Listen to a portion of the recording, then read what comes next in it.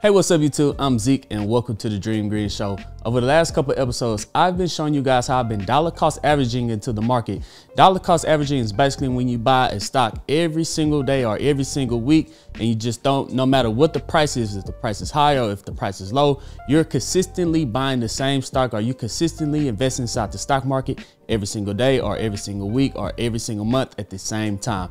Now, I've been buying $5 worth of Apple every single day, $5 worth of Waste Management every single day, $5 worth of SPY every single day. And I've been showing you guys how I've been up over 5, 10, 15% over some of these stocks from dollar cost averaging over the last couple of months. Now, I know all of that has been well, but you guys are still asking, why should I dollar cost average when I have a thousand dollars right now and I'm ready to invest inside the stock market? I don't want to. I don't want to wait and buy the dips. I don't want to wait and buy the highs. I got a thousand dollars right now that I'm ready to invest inside of the stock market. So what should I do if I do not feel like dollar cost averaging? And I'm telling you guys, that's not a bad strategy at all. You do not have to dollar cost average in order to be successful inside the stock market. That is just one of the easiest investing strategies that um you don't have to check the market every single day. It's kind of uh, laid back on autopilot to where you set up your app to invest every single day. But if you are paying attention to the market and you do see a nice little decent pullback, you are wondering what should you do with your thousand dollars?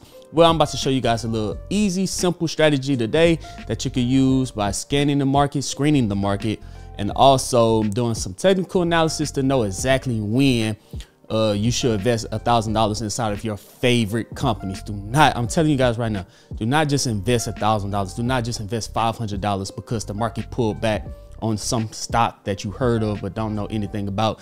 You only go in and you buy the dip on great amazing companies that just so happen to pull back that you are already paying attention to that you see that it's at a steal of a price. Those are the companies that you need to be paying attention to. And just because they pull back for that day don't mean go in and throw a thousand dollars. Just because they pull back for that week don't mean go in and throwing a thousand dollars. Just because they pull back for that month don't mean going and throwing a thousand dollars. Don't say hey it's been pulling back this week.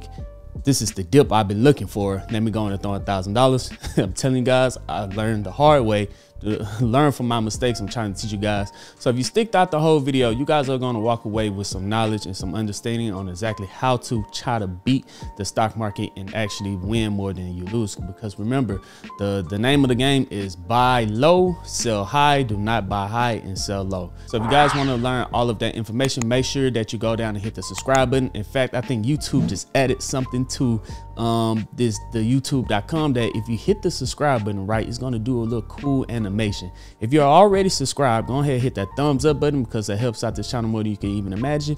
But if you're not subscribed, I am asking you to go down and hit that subscribe button and watch what the animation do. I heard that is pretty cool. But before we dive into the video, this video is brought to you by Moomoo. Sign up now by clicking the link down in the description. Deposit $100 and you can receive up to 15 free stocks plus a free stock of SoFi, guys. Guys, this is one of the best ways to get started. Even if you already have another investing app, it's okay to have multiple apps. You can sign up with Moomoo, use their free applications, use their free charts, use all of their stuff and still walk out with free stocks with everything that they're providing you.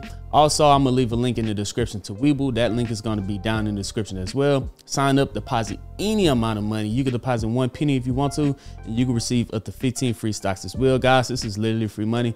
Do not miss out on this amazing opportunity from Moomoo and also from Webull. But enough talking. Let's go ahead and dive straight into this video. Welcome back, Dreamers. Here we are. Thank you for hitting that subscribe button, right?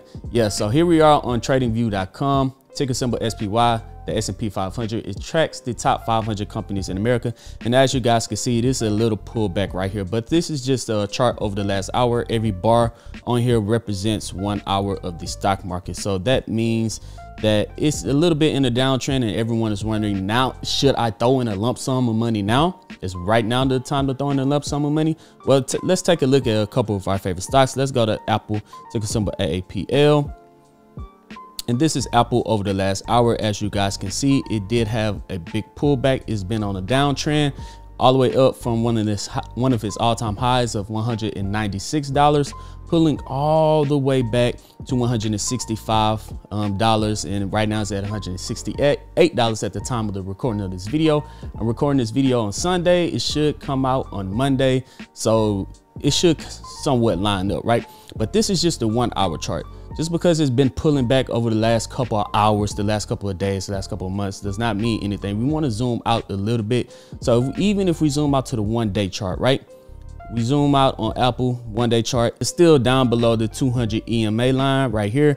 The yellow line that kind of draws the support and resistance line. So if you was to put an arrow in the end of this 200 EMA line, it kind of shows which way that the market is going for that stock. And if we draw it right here, it would kind of point sideways and are starting to point down, right? So you say, hey, it's in a downtrend.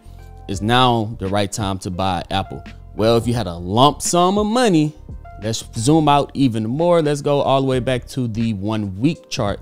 So every bar on here represents one week, right? So let's zoom all the way out and zoom all the way out some more. There we go, guys. This is Apple over the last couple of weeks. As you guys can see, Apple usually only goes up. Now, every time that Apple pulls back to the 200 EMA on the weekly chart, it kind of bounces off of it and then goes back up pulls back, almost touched it, goes back up. Apple once again pulled all the way back to the 200 EMA back in 2000. Um, in January 2023, all the way down to $126.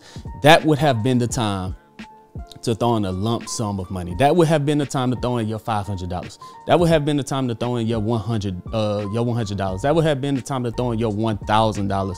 Now we take a look at Apple right now. Yes, it's been pulling back over the last couple of weeks, right?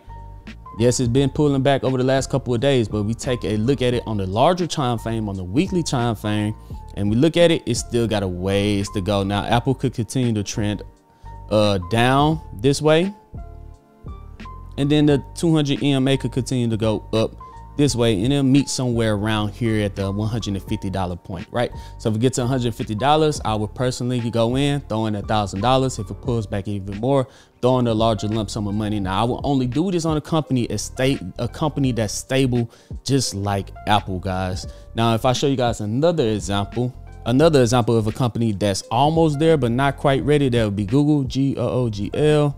Let's pull up Google. Google on the weekly time chart. As you guys can see, whenever it pulls back to the 200 EMA, even though that was the pandemic time, whenever you could catch Google on sale, as you guys can see over the last 20, 30, 40, 50 years, Google only goes up. It's hard to catch Google on sale, but you don't want to go in and say, oh, okay, now it's the right time to buy Google. You want to just go ahead and let it just go ahead and pull all the way back to the 200 EMA on the weekly time frame to go in before you throw in a lump sum of money. Now, me personally, I had drew out this chart. I added it to my Patreon group inside of my Discord. If you guys want to check that out, that's going to be in the pinned comment section um, to my Discord. You sign up with Discord I mean, you signed up to Patreon, you joined the Discord over there. I post my technical analysis. I told everyone I was buying Google um, in this area right here. And of course, it shot back up. Now, if it do pull back to this area right here, then I will buy more um, Google, but hopefully it bounces off of this and continue to trend back up. So this is another one. Say, hey, over the last, let's go to the four hour so this is another one on the four hour time chart. Hey is below the 200 EMA. It had a major pullback right here.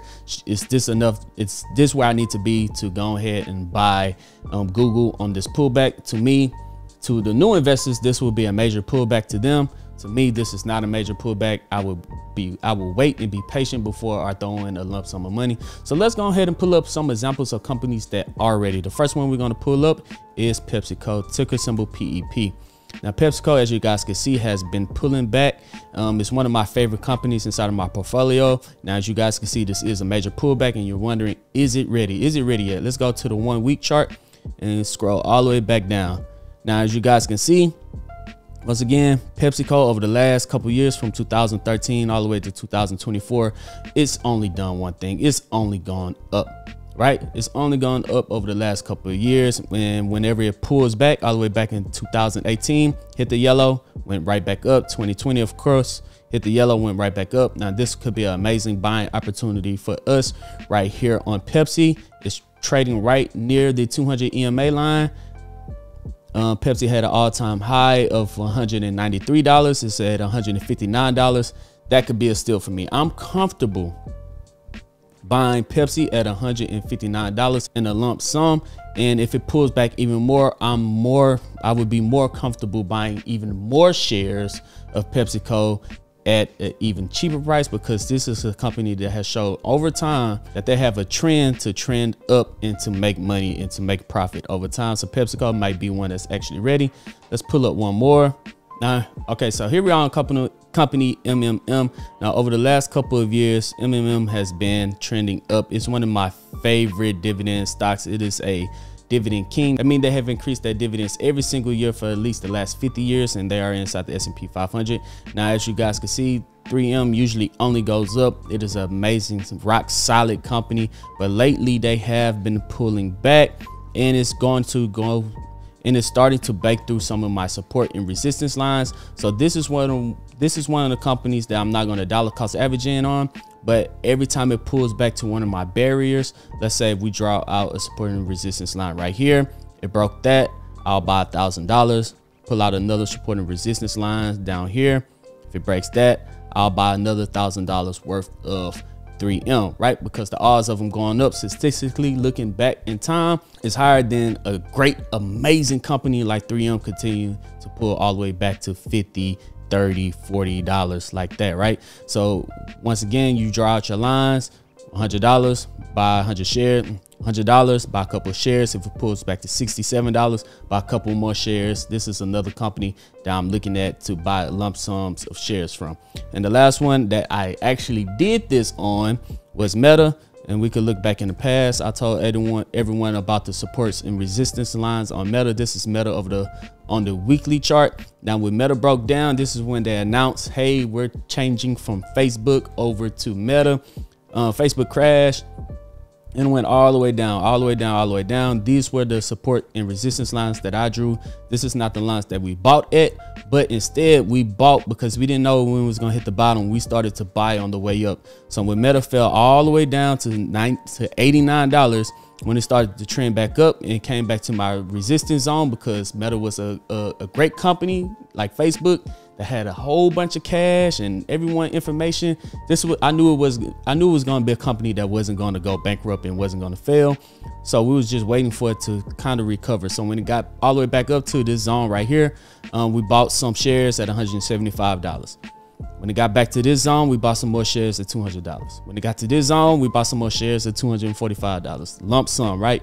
And then when it got all the way back to this zone right here, this is when we sold. So that would be a profit of around from here all the way up here of 81% just over the matter of a couple of months, guys. From January 2023, in one year, in one year we made 81%. That is completely insane, and that's when you know buying a large amount of shares might actually be better than dollar cost averaging.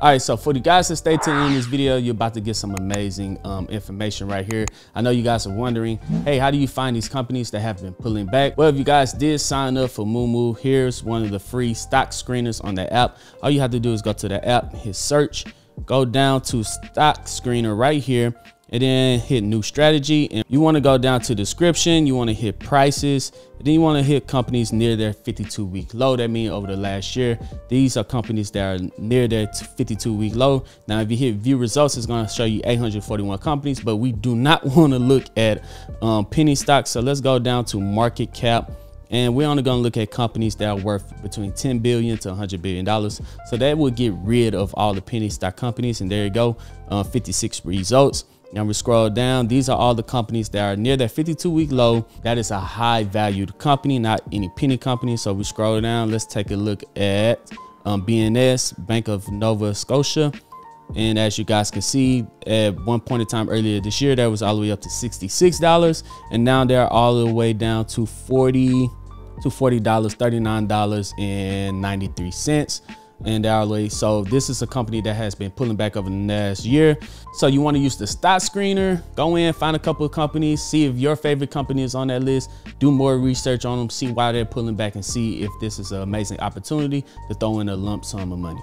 And there you go, dreamers, two easy strategies, dollar cost averaging that I've been talking about on this channel for a while. And this is another strategy is to wait until your favorite stock that's a good quality company pulls back to a price that is just irresistible. Don't just go in buying amazing companies because they pull back that day or that week or that month. You want to look over the uh, the broad scope of things. Take a step back, look at the entire company, see what's going on, and then before you throw in a lump sum of money, see if this company is going down for a reason or is it just on sale and we're getting in at an amazing time for an amazing value. But that's it, guys. Let me know if there's any companies near that 52 week low that you've been purchasing already. Drop that down in the comment section. Also, drop down in the comment section. Do you would you rather invest a thousand dollars immediately, or would you rather continue to dollar cost average over time and just sit back and relax and just buy the highs and the lows of these companies day after day? Let me know which one is your favorite down in the comment section.